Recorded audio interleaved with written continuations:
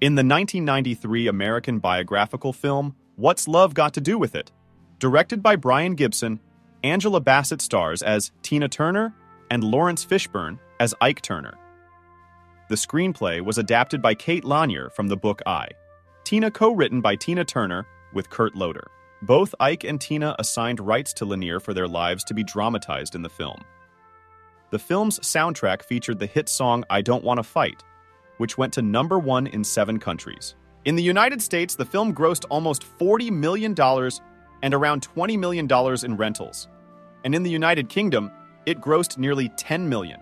That's Angela Bassett won a Golden Globe for Best Performance by an Actress in a Motion Picture, Comedy, Charm Musical, and an NAACP Image Award for Outstanding Lead Actress in a Motion Picture. Laurence Fishburne was nominated for the Academy Award for Best Actor in a Leading Role, and Bassett was nominated for Best Actress in a Leading Role. The film won an American Choreography Award for one of its dance sequences. Here are some amazing photos of Laurence Fishburne and Angela Bassett in What's Love Got to Do with It in 1993.